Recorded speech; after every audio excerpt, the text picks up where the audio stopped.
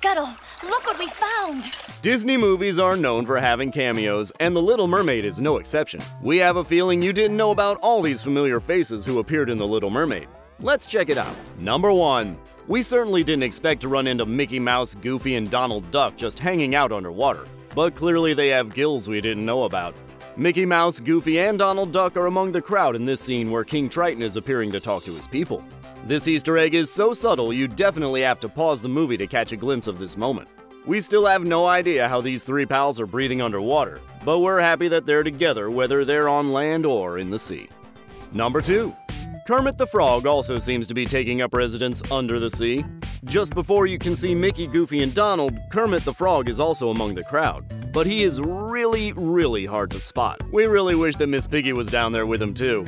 She's always the life of the party. Number 3.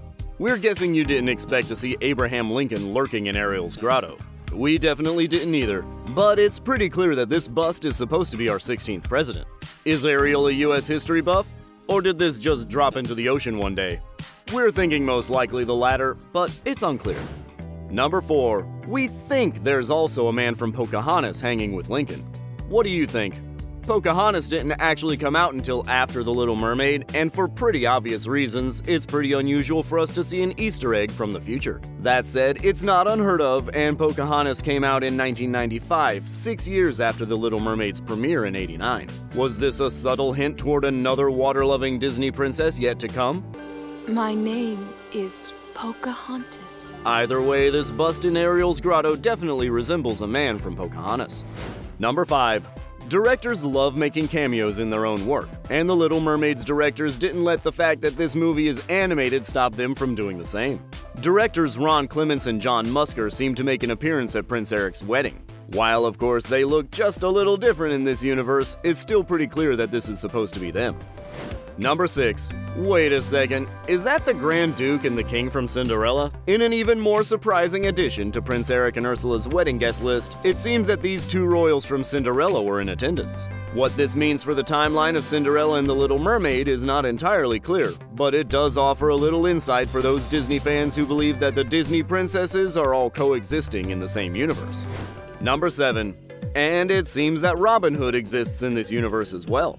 Right in that same scene, that certainly looks a lot like Robin Hood. Sure, Prince Eric and Ursula's nuptials didn't turn out particularly well, but it seems like their wedding was still the fictional character event of the century. You know, he's getting married. While it's hard to be sure since he's only there for a moment, it looks like Robin Hood is also hiding in the background at this surprisingly crowded wedding reception. Number 8. It appears that Princess Aurora seems to exist in Ariel's universe too.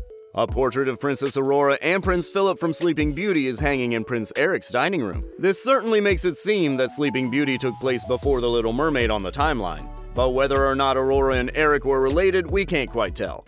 I'm sorry, Grim. What was that? He certainly seems to know who she is, though, and that means that Maleficent and Ursula actually existed at the same time. That would make for one villainous girl boss duo. Number 9. If you remember the incredible Mr. Limpet, you may be surprised that he made a very interesting appearance in The Little Mermaid. The Incredible Mr. Limpet was a movie made back in the 60s about a guy who just so happened to want to be a fish. I wish I were a fish. Now we see what looks to be a fish version of Mr. Limpet during Under the Sea. This is definitely a surprising reference, but when you think about it, it's clear that a man who wanted to be a fish actually becoming a fish for a musical number about how great living under the sea is, is deliberate. It's even more poignant when you remember that this whole movie is about a sort of fish who wants to be a human. It just goes to show that the grass is always greener on the other side. Or the ocean is always bluer. Whatever, you, you get the point. Number 10. Did you spot those people with mouse ears?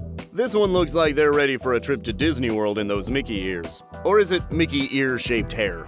Either way, it's pretty clear that these are hidden Mickeys throughout this group of people, which is pretty funny considering the fact that another hidden Mickey in this crowd is Mickey himself. It's clear that Mickey exists in the Little Mermaid universe because we can see him, and if people are wearing Mickey ears, then it sounds like he's pretty famous even in that world. But it's still unclear why a mouse is living in the ocean. We're probably thinking a little too deep on this one.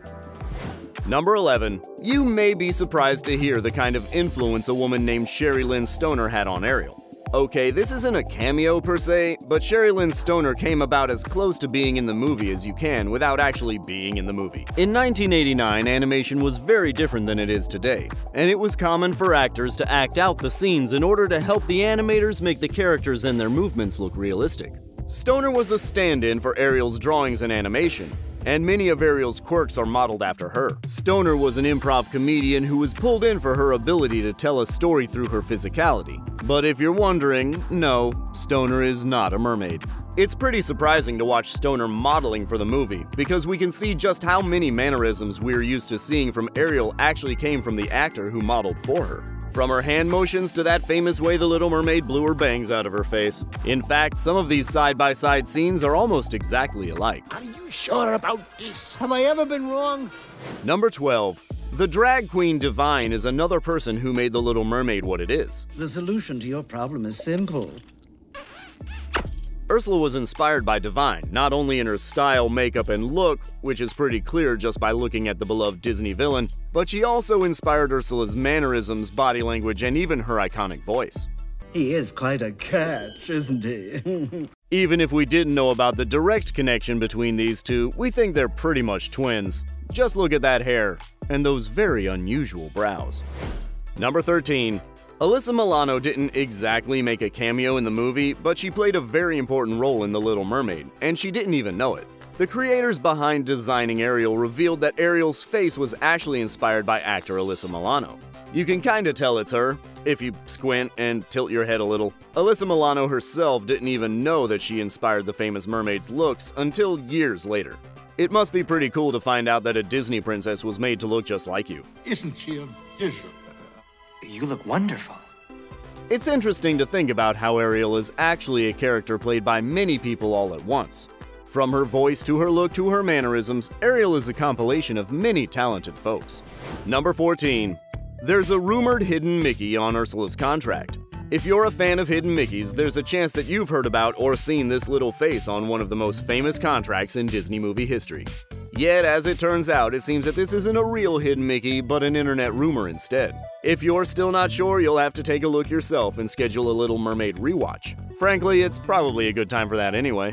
When you actually look at the movie and not the screen grab, it doesn't look like this hidden Mickey is actually there.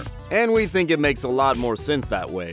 Why would Ursula put a mouse shape on her very important contract? It's time Ursula took matters into her own tentacles. Well, it seems like she actually didn't, but hidden Mickey hunters on the internet with editing skills are capable of creating a serious mermaid Mandela effect situation.